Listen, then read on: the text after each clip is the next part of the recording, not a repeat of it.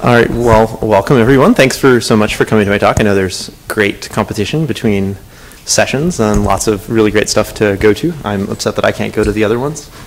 Um, so, uh, my name is Benjamin Mako Hill, and I am, in addition to being thrilled to be, be here, uh, I am, uh, I don't know, uh, I love coming to LibrePlanet uh, and I haven't actually give, had the opportunity to give a talk here in a couple years, but it's one of my favorite audiences of sort of like-minded, very sort of principled people.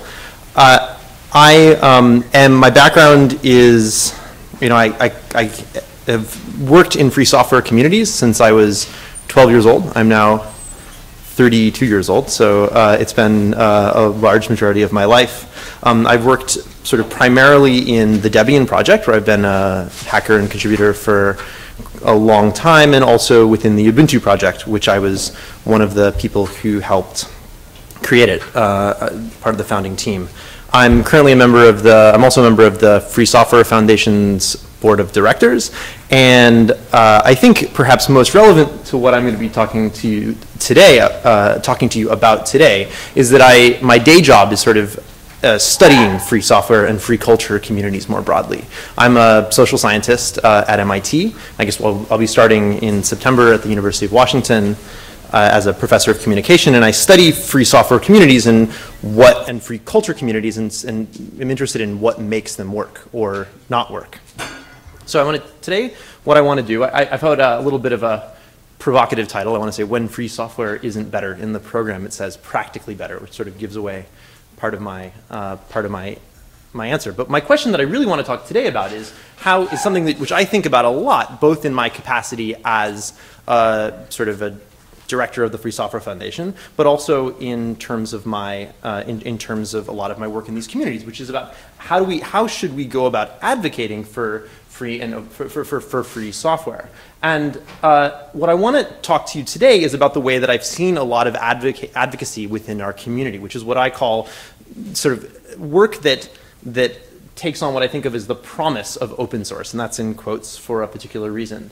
Uh, I, I want to sort of begin by introducing this major debate between free software on the one hand and open source, which is a now 15-year-old debate, which most of you are probably very familiar with, and perhaps not, even, not particularly interested in me re-raising at this point. But what I want to do is frame the first big chunk of my uh, talk around what I call the promise of open source um, which is more or less, I want to suggest, the template that most of us, uh, even free software advocates, have used in our advocacy. I then want to sort of try to systematically show that the promise, this promise, is only very rarely realized.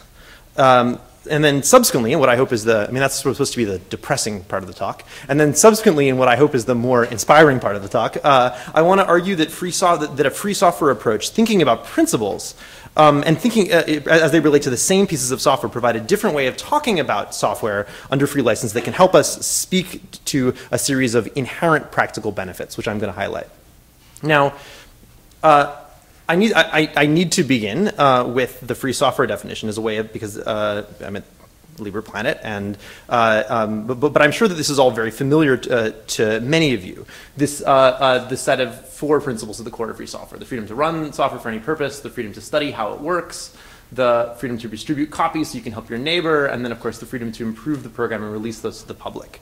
But what I want to suggest here is that this definition, and the important part right here, I'm going to come back and talk about these principles later. But what I want to suggest right away is that the is is that is the what I want to highlight here is the fact that this is based on principles. Um, now, on the other hand, we have the open, so we have, this is, this is the mission statement of the open source initiative.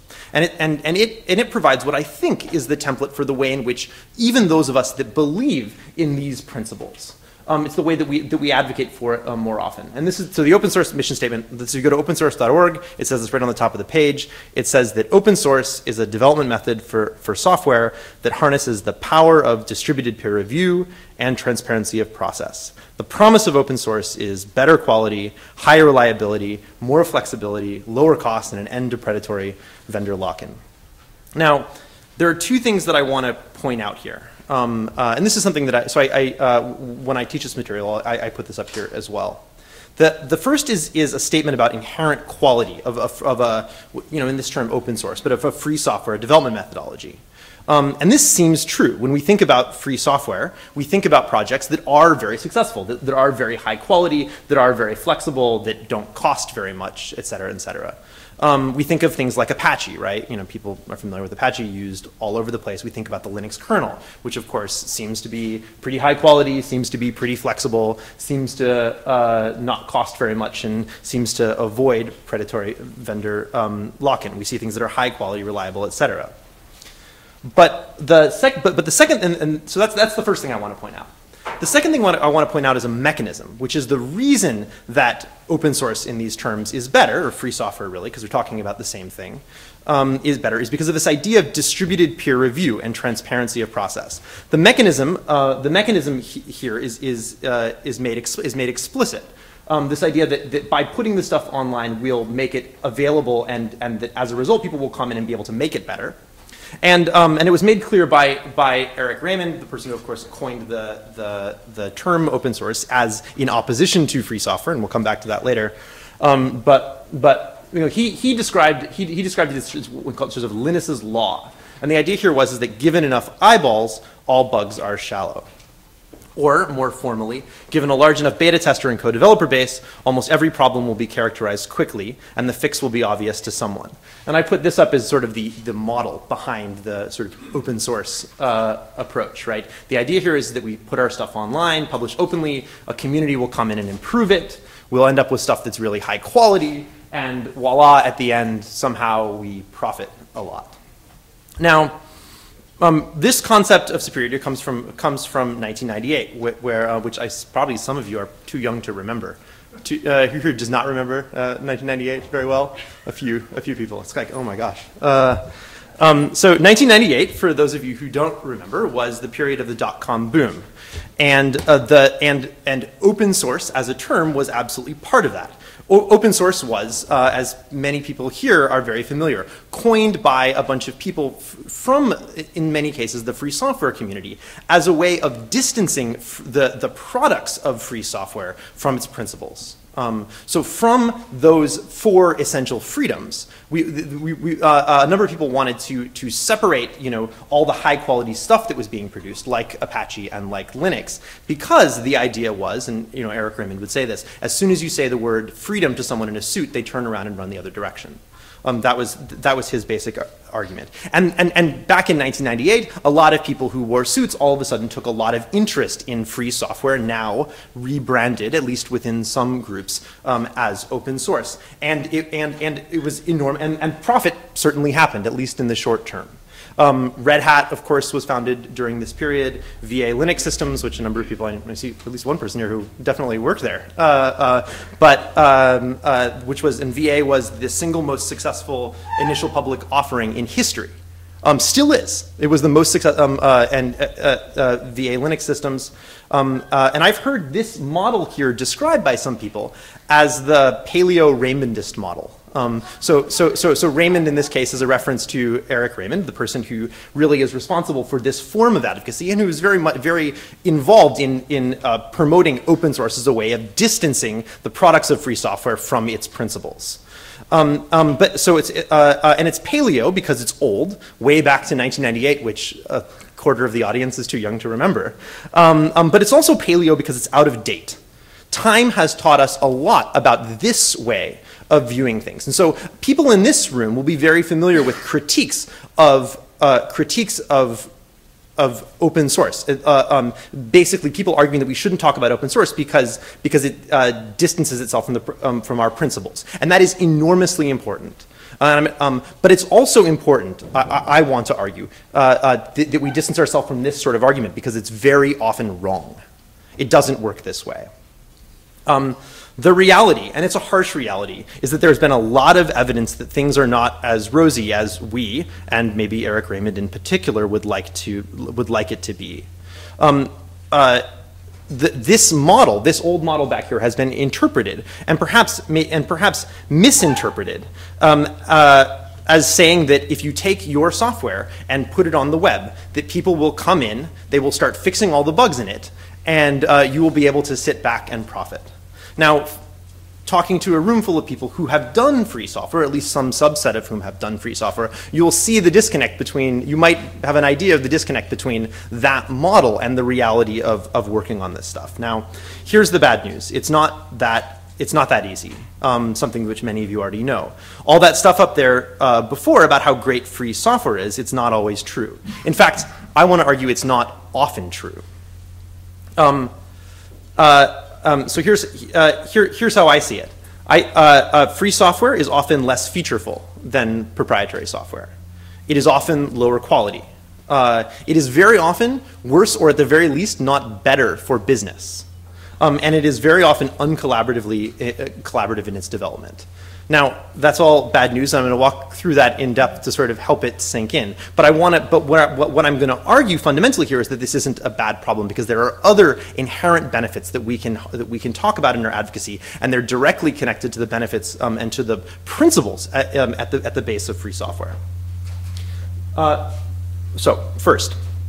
Uh, in the early days of any free software project, before the features have been written, free software is uh, not free software is not always uh, less features uh, full, or not always more featureful than the extant proprietary software. When you start a project, it of course doesn't have many features because you're just starting it. And in, uh, and in the later days, when the projects are mature, free software is very often still less featureful. Now, uh, this is a great, uh, up on the screen is a cover of an excellent book on writing Linux device drivers, and I wish I didn't have to know that, uh, in a sense. So back when I was 14 or 15 years old, I once uh, wanted to buy a CD. I wanted to buy a CD-ROM drive. Back then, when you had to buy CD-ROM drives, and so I went to a list of CD-ROM drives which were supported in Linux, uh, the Linux kernel, and I uh, and I picked one off the list, and I went out and got it. But turns out that the, the drive that I got was the next revision and it wasn't supported in the driver and I basically ended up trying to have to uh, write or modify a driver to work with it. Sometimes we need to go buy great books like this and write our own device drivers. Now, uh, um, obviously, uh, uh that's not, uh, that's, that, that's rarely the case when people use the most popular proprietary operating systems. Um, now, today, most people who pick up a new CD-ROM drive, if they even have a CD-ROM drive in their computer, don't worry too much about support for CD-ROM drivers or honestly other drivers either. The Linux kernel is just a much more mature project uh, today, and many of these drivers have been written for the software. But that's not always the case. Other times feature development doesn't happen, not because people just haven't got around to it, as was the case, say, you know, 15 years ago in the free software world, um, um, but because feature development can actually be hard. Sometimes features are just really hard to develop. Sometimes they require specialized knowledge in order to build them. And sometimes the, the, the features that people want, uh, um, sometimes the people who want features don't have the skills or the time to build the technology. So uh, video, uh, this, this is just, uh, there have been free software video editing tools under active development for more than a decade. Tons of people edit video. Um, people edit video on non-free operating systems. Tons of people edit video on free software operating systems. But despite all of the uh, interest in this topic and despite all of the work, free software still lags heavily in terms of basic features. This is a picture of Final Cut Pro, which is a proprietary piece of software written by Apple. It's very large, it's very complicated, it has an enormous number of features, um, and those features, and there are thousands of features in a piece of software like this, matter a lot to Final Cut's users. Um, but honestly, I, would love something that was as featureful and stable as iMovie, which is the sort of crappy alternative video editor that Apple also writes and gives away for free on its computers. This is Cinelerra. I don't know if people have used Cinelerra. Um, I have. Uh, um, I've used it and I like it quite a lot, actually. It installs easily today on distributions other than Fedora, which is an important step forward. Uh, I also use PiTiVi, which I used last week to edit some video, which I also like quite a lot. But I think that even the most sort of ardent advocate of free software, and I think that I'm pretty close to one of the more advocate uh, uh, ardent advocates of free software and free software video tools will, will admit that to this day, there's no, we're nowhere near feature parity in terms of, uh, in terms of the top pieces of proprietary software. Um, we're not even close. And not through a lack of trying, people are continuing to work on it, and the gap is closing over time, but we're just not there yet. I do like this, uh, this is the old uh, list of icons for, uh, for Cinelerra. I like the unsharp, there's like a little picture up there. Um, in any case, uh, oh, uh, huh, okay. Um, so questions of quality are sometimes, uh, questions of quality are sometimes related to, um, to, to, to, features. Because although it may, it may be that Cinelerra doesn't, Cinelerra doesn't do everything that Final Cut does at the moment, it, it, it may do the things that it does do extremely well. There are lots of pieces of free, free software um, that just do, that, that don't just do very little. What they do, they do kind of poorly. Um, does anyone, uh, uh, so, so who here uh, knows about OpenMoko? A few people. Who here had one? I did. Uh, who here knows what's going on in this side of this picture over here? Anyone? A couple people? Uh, um, and did you do it yourself? Uh, so, so, so this is anyway. This is a this is a buzz fixing party, and I'll describe what that is in a minute. I had I, I, I did this on my phone. So OpenMoko was a phone pictured right that aimed to be the world's first free hackable phone. But although the OpenMoko was, and I think still is, someone correct me if that's not wrong, the world's freest phone, it wasn't quite as free as we might like, but it was quite good. It was not the world's highest quality phone measured along many other dimensions, I think it's fair to say. Uh, so one of the things that people like to do with their phones is they like to call people, and OpenMoko did that. Uh, uh, um, uh, another thing that people like to do with their phones is they like, they like it when the people on the other side of the phone can reliably hear them and not be drowned out by loud buzzing noises. And OpenMoko was uh, less good at that part for the most part. There was a problem with the phone that involved an interaction with cell phone towers of particular frequencies that made the other side of phone conversations, that is not the person talking, very, very hard to hear um, uh, at least for many, many users. And the photos on the right up here, is that you're right? Yeah, the, the, um, are people fixing their phones by resoldering a capacitor. And this was actually a party in Germany, of a, I think it was in Germany, of a BuzzFix party, where there, were, there were series of these parties which were organized around the world, so that people who bought this phone could bring their phones in and uh, fix it um, and fix it so that it sounded pretty good. Now, uh, the point here is, is that sometimes the free stuff doesn't work as well, at least not out of the box. Um, uh, Network Manager, I think it's safe to pick on Network Manager today because it's actually quite good and high quality. I've been very happy with Network Manager in the last uh, three years or so. But this, as this picture might suggest, was not always the case. Um, uh, I, I, just want to, for people that have been using free software for a long time, it's, it's sort of, uh, uh, it's worth reflecting on your experience a little bit, right? Using GNU Linux, trying to connect to networks and, and failing to do so. How many hours of my life have I spent in that limbo state of not being connected, but trying to be connected, right? Like, how did that feel, if that sounds familiar to you, right? How does that feel like looking at your friend with a Mac sort of like happily surfing away, right? Like, I know how that feels on some level. And I'm willing to do it, and I don't feel bitter or upset about it, but it's worth reflecting on the fact that sometimes things aren't as easy. Sometimes things don't work as well. Now, uh, I'm not suggesting that proprietary software has no bugs, or that or, or that uh, uh, or that proprietary phones are always better. Although maybe most proprietary phones do work better than OpenMoko did, at least initially. Proprietary software very often sucks and is horrible. And if you use proprietary software, I could have talk after talk of many, many other examples of uh, horrible bugs and missing features in proprietary software uh, as well. The point here is, is, is not that proprietary software doesn't suck, it's that our software also sucks. Um, the stuff in the free world, at least sometimes. And what I'm suggesting is that we should stop making it, uh, and what I'm fundamentally suggesting that we should stop making uh, it a pillar of our advocacy that our software sucks less, because that's not always true.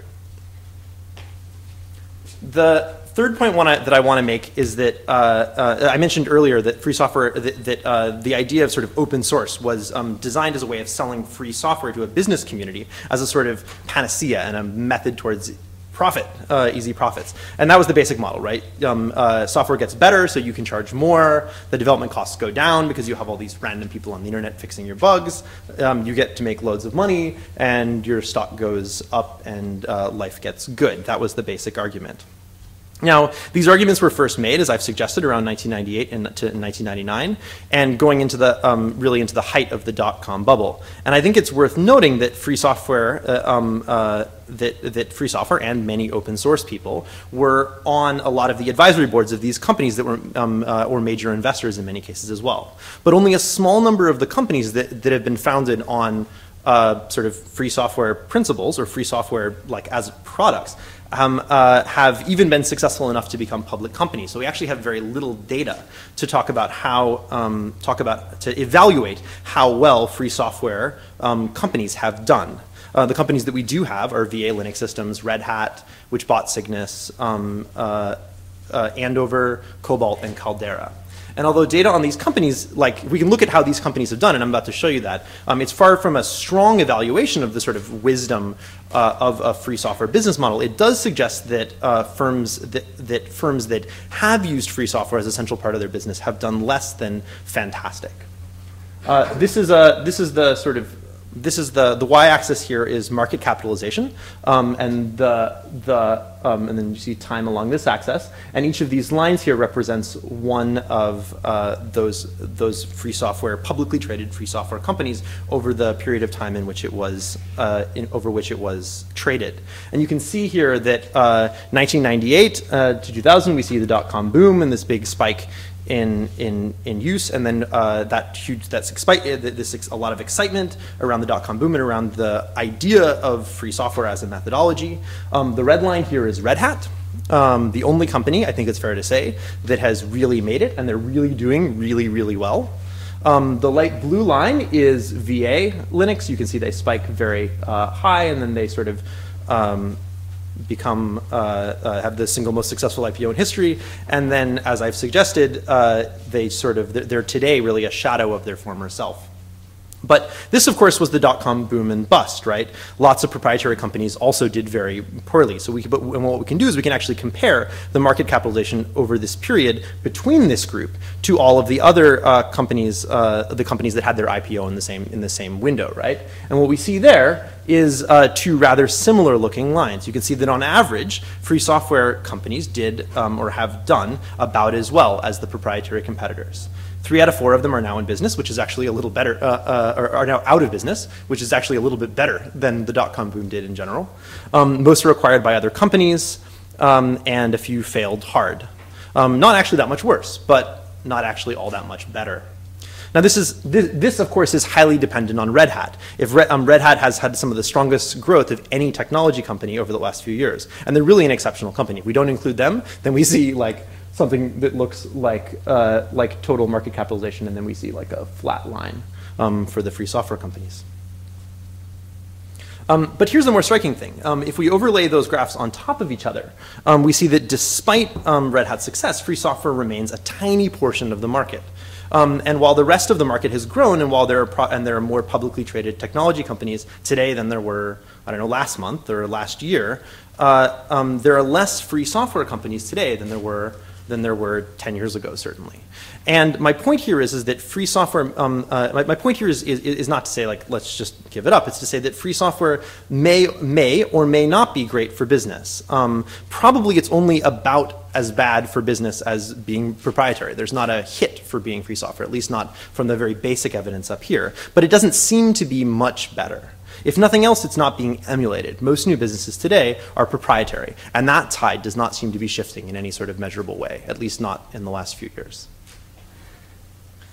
So I think it's hard to square some of the some of what I've just shown with sort of Linus's law as I threw it out there with some of this hype, this real, real, really this this oh, this this hype about open source. How can how can how can the software be so bad when anyone can come in and just fix those bugs? They can just implement those features. And the answer is, is that it, it, the reason that the reason that we don't we don't make it farther down that model, that paleo-Raymondist model, is because um, is because the collaboration is very often not happening. So we go back to this model here, and we can see that right here, this this aspect of attracting community seems to be a big problem. By celebrating all of those successful projects out there, and by you know all of the projects that um, probably most of us use and that we're familiar with with and that in many cases we've contributed to.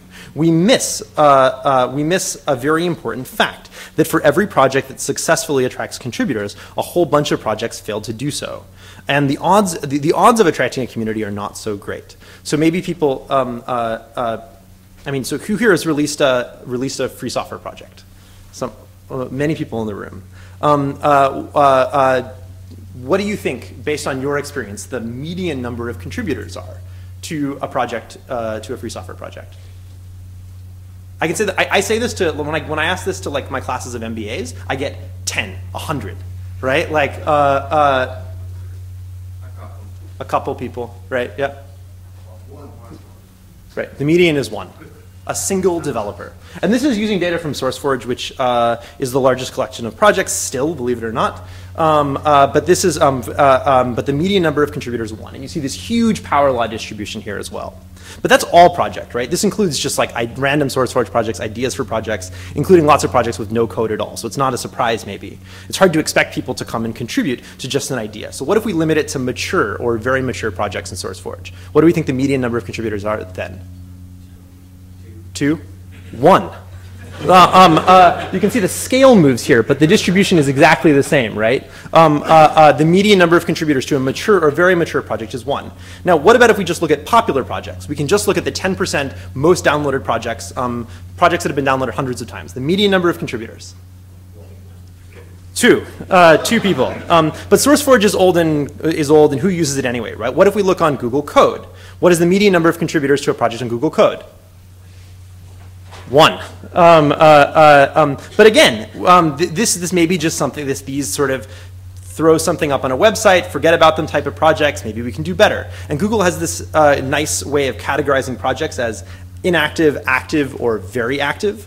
Um, and uh, so in this slide right here, I'm including all Google Code projects, and that's probably unfair. If we limit it just to the ones that are very active, um, uh, and Google's a little bit cagey about what that means, but it means some combination of being worked on and active downloading. So there's an active community of people contributing to, you know, wiki edits, contributions, uploads, and there's a download community. The median number of contributors for a project that is active on Google Code one, a single developer, right? Um, uh, we can look in SourceForge, right? So SourceForge, uh, not sorry, we can look in we can look in GitHub because lots of people are using GitHub today. Um, there, it's a little it's a little harder in GitHub to think about what it means to be sort of a member of a community because people don't join projects in GitHub in the same way. Um, the two that I've come up with are looking at either um, the number of forks or the number of watchers. Um, the answer is the same uh, either way we look at it. Um, uh, uh, the, the number of people who are watching a project on GitHub or the number of forks, the median number is one. Um, I could keep going like this for a long time. You see this power law distribution. I downloaded one when I was preparing this talk, like every data set I could find about free software projects, and you see this this same shape over and over and over. It's like I don't really believe in social laws, but like if we're going to find one, this distribution is close to it. This sort of power law distribution.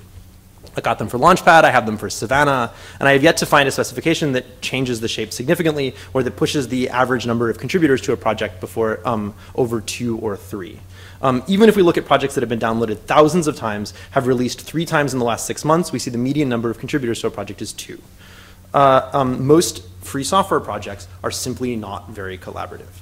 Um, um, and even if we believe in the so and, and, this is very important for this for, for, for, for, for this whole line of like sort of advocacy that I've been talking about so far. Because even if we believe in the power of distributed peer review most people and most examples of free software projects will never reap the benefits because for most projects that distributed peer review never happens because because it never becomes distributed beyond more than two or three people at least for most attempts at projects. And I think that that's bad um, I think it's bad for three sort of concrete reasons. It's bad because I don't want it to be true.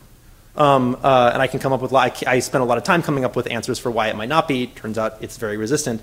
Um, uh, it's, it's bad because I use free software all the time, and it means that I use software that's not benefiting from this process of having a community. Um, and it's also bad because I like to release my software and have other people fix the bugs, and that seems to rarely happen. Um, um, but it's also bad because it means this is as advocates. And although I have done and continue to do development, um, I think my I think of my role primarily as an as a sort of an advocate for free software. Um, I think that we have been dishonest in terms of the way that we've gone around and talked about um, free software and why people should use it. We're um, what we are encouraging is essentially false advertising. We're making claims for our product, that is the free software that we're trying to get people to use, um, uh, that, that we can't back up or that at the very least is not always true.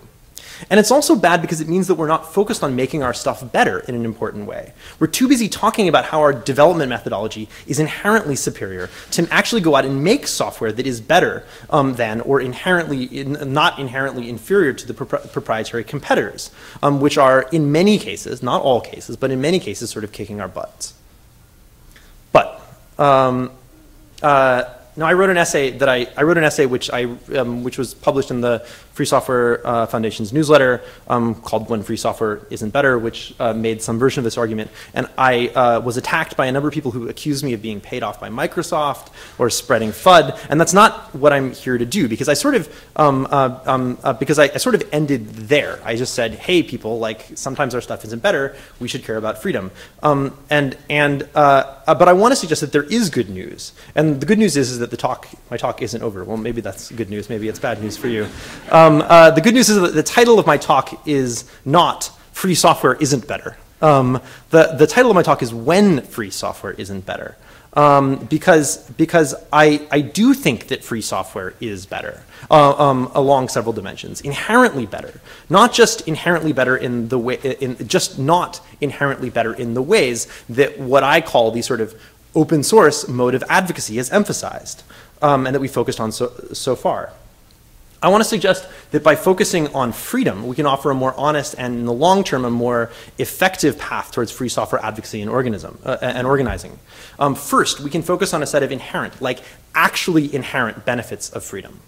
Um, and second, um, if we believe that practical issues do matter, and I do believe that practical uh, uh, issues matter a lot, I think that, uh, uh, that, and I think they matter to many other people as well, um, we can start talking about how we can make free software better. And there's lots of different places that we can start. In the rest of my talk, I'm going to talk about six ways in which we can make um, six inherent benefits of free software that we can focus on in our advocacy and that are directly connected to the principles behind free software and not the practical benefits behind sort of the, the, the, the way of advocating for open source. I'm going to suggest that uh, free software is resistant to anti-features, that it makes, um, first, one, that it, two, makes failure cheap, that it, three, makes success cheap, uh, um, four, that it resists sort of central control. Um, fifth, that it can sometimes uh, lead to massive collaboration. And then sixth, and most fundamentally, because it gives users freedom. So the first thing I want to talk about is the way that free software uh, resists anti-features. And it's okay if you're sitting here thinking to yourself, what are anti-features? Um, uh, because I made the term up, uh, so uh, uh, only I need to know it. Uh, an anti-feature, as I define it, is a feature that is designed so that it is a feature designed by the manufacturer of a piece of technology, so so that the users of the technology will hate it. Um, uh, kind of like the opposite of a feature in that sense, where the features are things that are designed to make the software do something for you uh, um, that you want. An anti-feature is something which is designed to make yourself make your your technology do something that you don't want it to do. Feature, they're, they're, anti-features are features so bad that users hate so much, they will pay, if they're lucky to be able to, to have those features removed. So like a feature, an anti-feature must be built. It's something that requires effort. It's not a bug. It's not a missing feature. It's, it's, uh, it's added functionality, but it's negative functionality in the sense that it makes, so it makes your technology do something that you don't want it to do. Um, I have a couple concrete examples of this. Um, so I don't know if anyone remembers window, the, the, the, this old story about Windows NT Workstation 4.0. Um, but uh, Windows NT, uh, this is one of my favorite examples of an anti-feature. Uh, Windows NT, so when Microsoft released Microsoft Windows, I guess 4.0, they released, they released two versions of NT, one for a workstation and one for a server.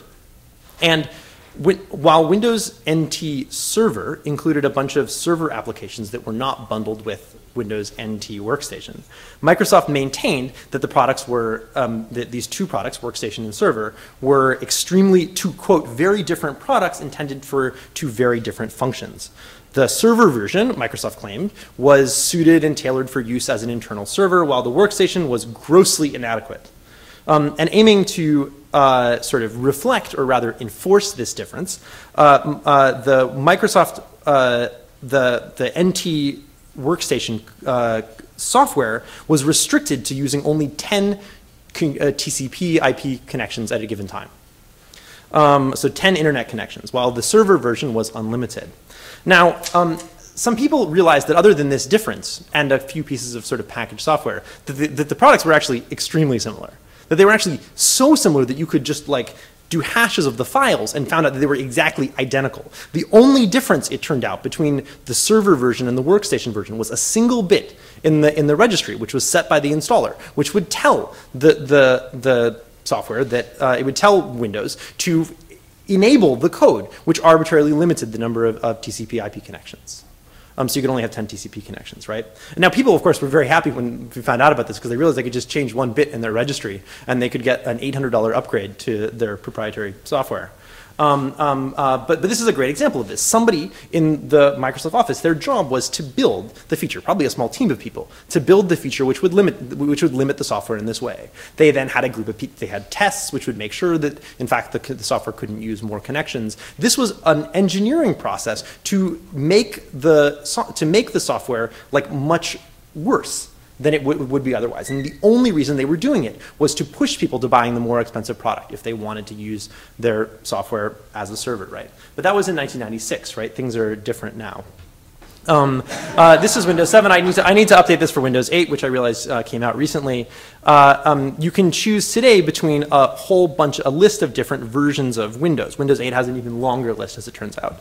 Um, most of them are distinguished from each other based on how much memory on, on the computer you want to use. So we can look at Windows 7 uh, Starter, which is limited to Windows, the, the one up there is limited to two gigabytes of memory.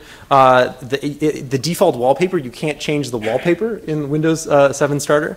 Um, uh, you have to pay more if you'd like to do that. Or, um, and it can only use 250 gigabytes of disk space. Um, an initial feature which they developed but then eventually dropped was that it would limit you to three running applications with a user interface. Um, um, there was a team of people. I mean, think about it. If you're an, if you're an engineer, right? Like like it's actually it's non-trivial to build this. To think of because uh, uh, uh you have to distinguish whether or not an application will be running a user interface. Um, you need to provide an interface. You need to be able to stop those applications before they run. You need to be able to prompt the user with with a message which says, "I'm sorry, you're running the maximum number of." Uh, versions of, uh, you're running the maximum number of uh, graphical applications, you need to try something else. Um, there was, there, there was, it was a large project to make the software so bad, and the goal here, Windows Starter was almost given away. It was sold at a very, very cheap price. And the goal was to make the software so bad that anyone who could afford to pay money to get out, uh, to, to, get out of there would do it, right? Um, uh, uh, this is what I mean by an anti-feature.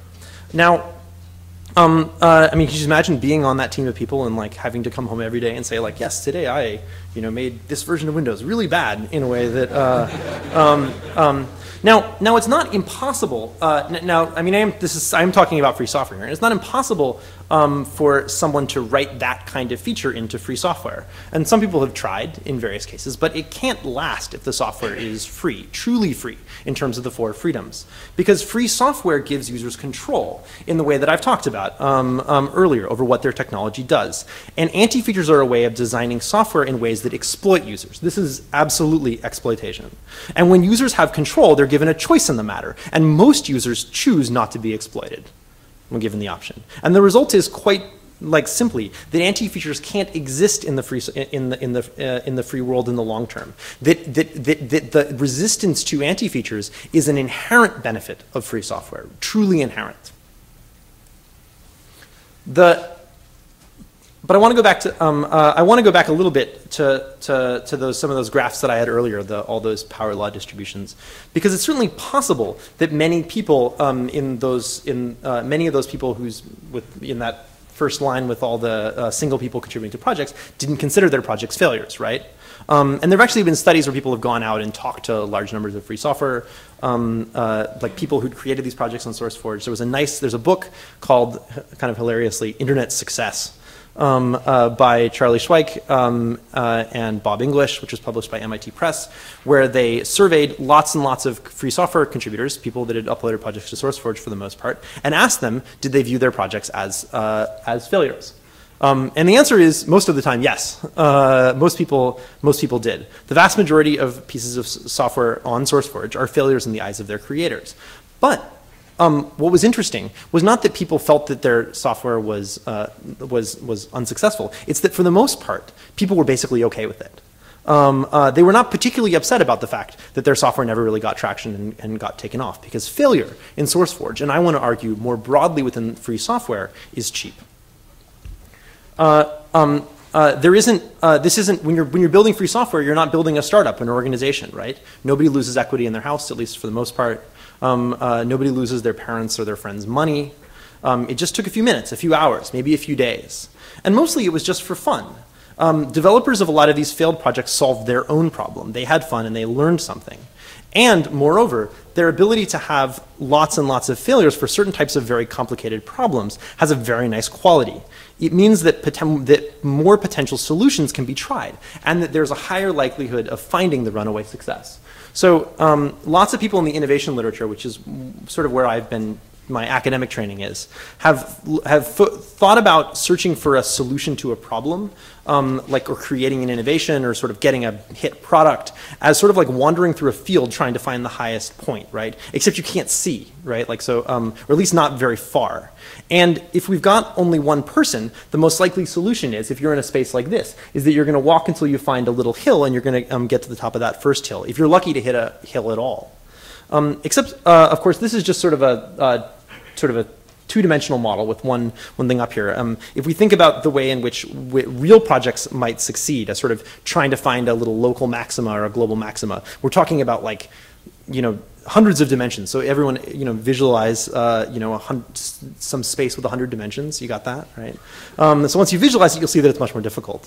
Free, uh, uh, free software projects, because they've been, they're motivated in part by freedom, can simply fail more easily. And that failure means that, fr that free software can search this space more widely because there's many more people sort of walking this space. Hundreds of thousands of failed projects in, from the perspective of search in this space is actually a really good thing because it means that we're trying lots and lots of, uh, we're trying lots and lots of stuff and we're more likely to find those global maxima. Failure in this sense can be our friend. And indeed, for every famous piece of free software, we can find a, or free culture, we can find a whole bunch of failures run by a bunch of people who, for the most part, don't feel that bad about their failures. Um, everyone knows Wikipedia. What you might not know about is that before Wikipedia, there were, uh, I found eight attempts to create um, online collaborative encyclopedias before Wikipedia. Um, uh, and I've, for some of my other work, interviewed all the creators about their alternatives. And what's interesting is, that despite the fact that they basically created Wikipedia before Wikipedia and then had their project not take off, for the most part, they don't feel, they don't feel particularly bad about it. Some of them will say, yeah, I was a little bitter for a little while, but I got over it. Wikipedia is great. Um, because, um, um, and many of them, in fact, have gone on to become major contributors to Wikipedia because failure, because the failure was very cheap. And this type of cheap failure is an inherent benefit of a free model. The third thing I want to suggest is that free software makes success cheap. Um, and another way of looking at what I've already success, um, uh, said is that just as though it's easy to fail in free software, it can be very easy to succeed. The, the bar for success can be very low. To succeed in like a piece of commercial software, um, free or proprietary, but most are proprietary, um, uh, uh, one needs to make money. Most free software is not similarly constrained. In, in those surveys that I mentioned before, people describe success as releasing a couple times in a few months, um, being downloaded, you know, a few times, having a little bit of a user community.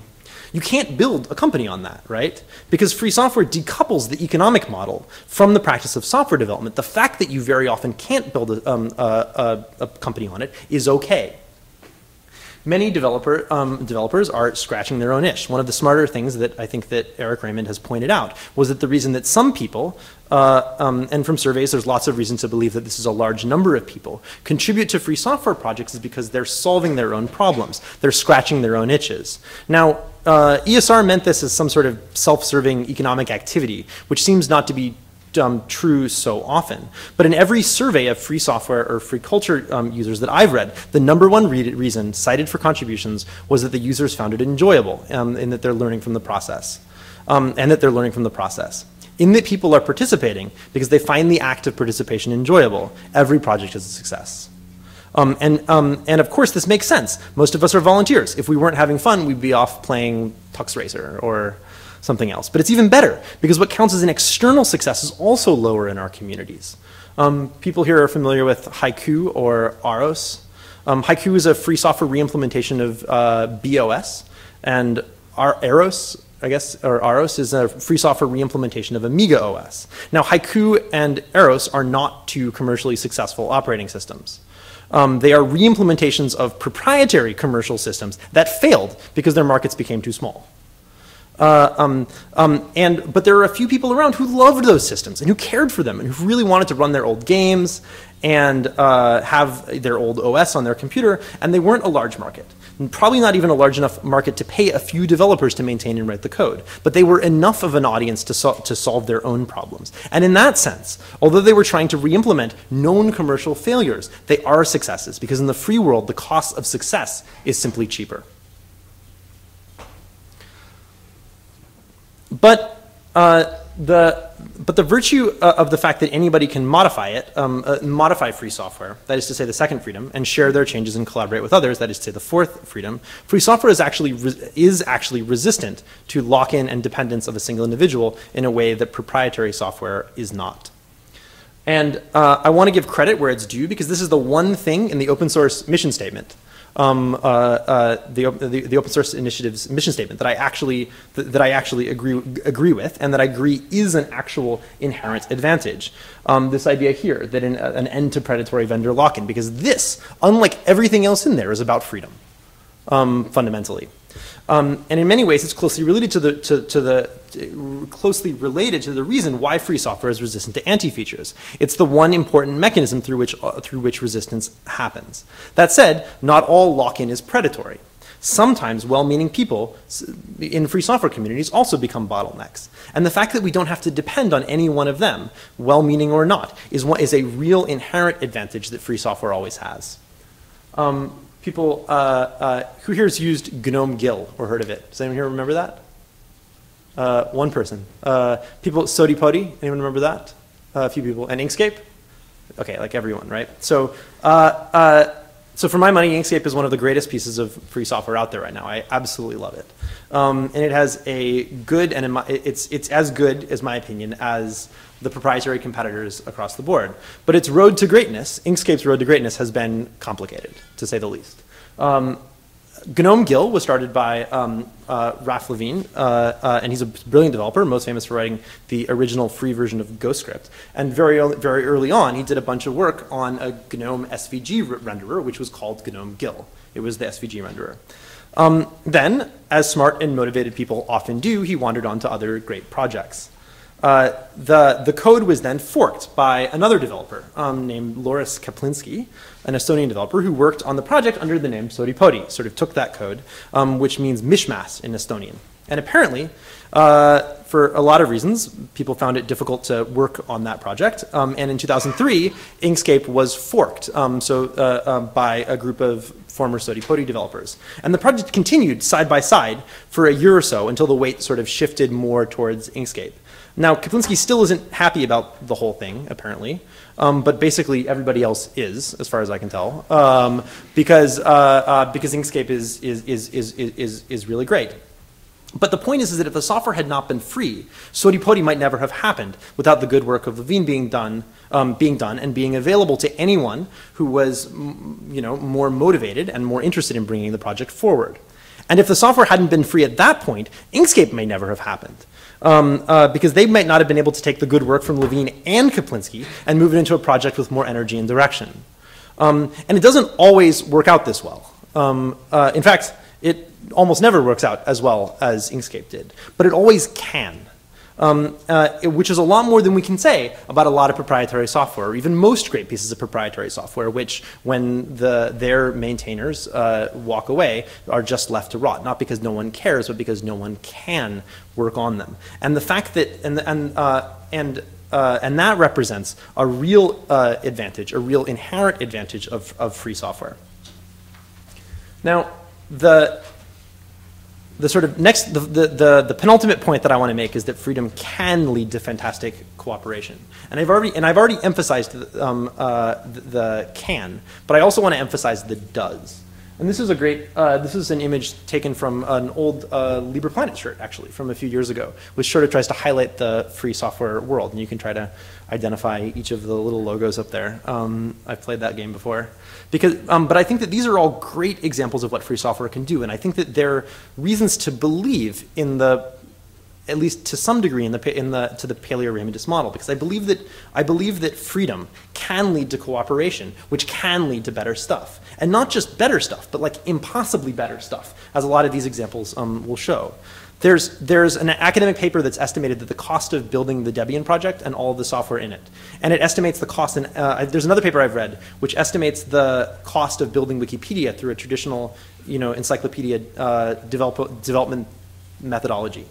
And, these, and I find these questions just silly. So Debian would cost $21 billion to write if we want to go out there and write it, right? Um, to, write all the, to write Debian and all the software in it.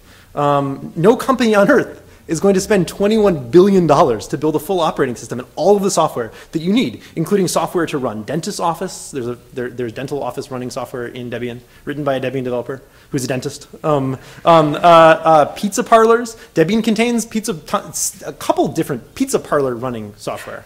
Um, it's actually just too big. Um, um, what the free world has produced is too big to create in that way. It's too comprehensive. Um, it serves too many small markets.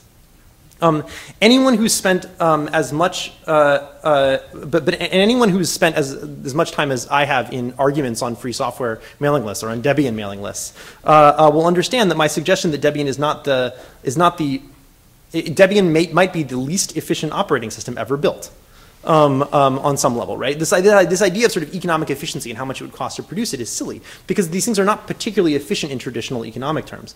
Um, or Wikipedia is, I, I, sometimes joke that Wikipedia is the least efficient way of writing an encyclopedia everyone's, anyone has ever come up with. Um, you have to argue and argue and argue with idiots um, uh, about um, just a little, a, a, little word here which should be completely uncontroversial.